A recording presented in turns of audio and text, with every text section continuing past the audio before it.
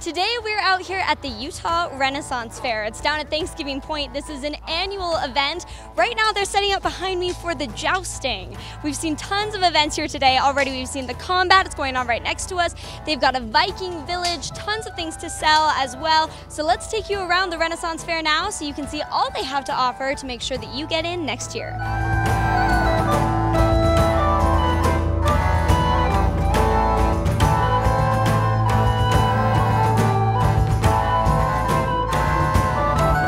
Is called the Armored Combat League.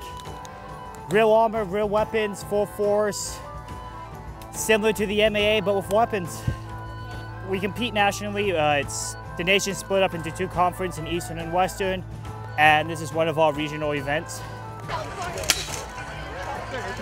I'm wearing a replica of a 14th century Western European armor. It weighs about 70 pounds. To become a knight, we have to qualify for the U.S. national team to go over to Europe every May and compete in the World Championship. This year, it's going to be held in Scotland.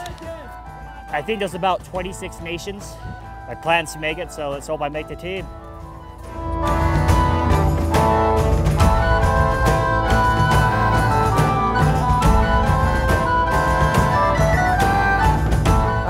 Story with the fair. I grew up going to them in Hollister, California. There's a real big one there. They put on a, a killer event. It's they bring entertainers from all around the world and now we do that too. A lot of it is just networking. We go to other events, we talk to them.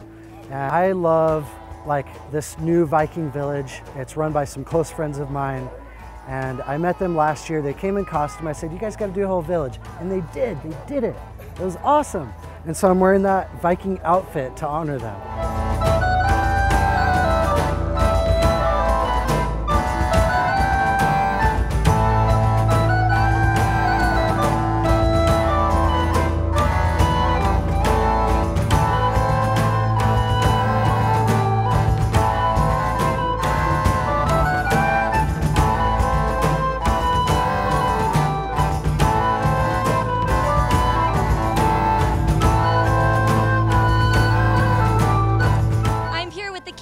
at the Renaissance Fair. Now, your Bison Brew had a line basically going halfway down the block. What is the secret here?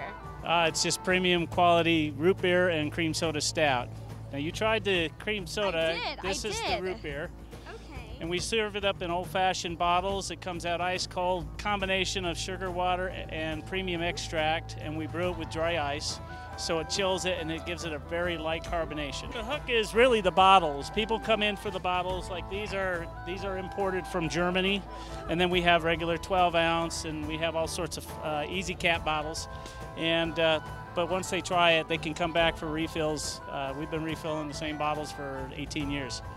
I love the whole atmosphere. I love the attitude of the people here. I mean, it's not just Renaissance, but it's Fantasy Fair and everything. Uh, tomorrow there'll be a lot of really interesting people. There'll be unicorns walking around, and you'll get the pirates, and you'll get the whole genre. It's it's a lot of fun.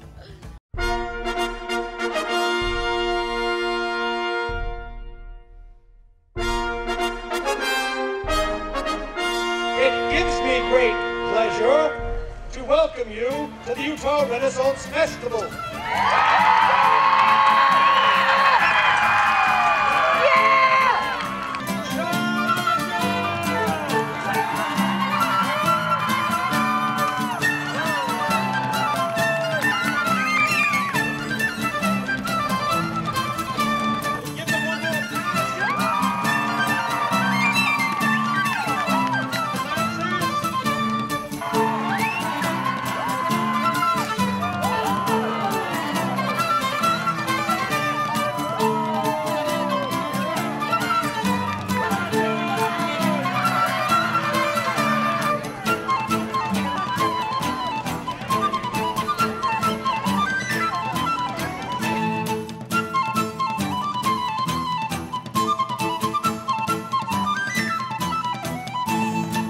Got more PCTV reports coming your way, and keep an eye on UtahRenaissanceFair.com so you can plan to come next year.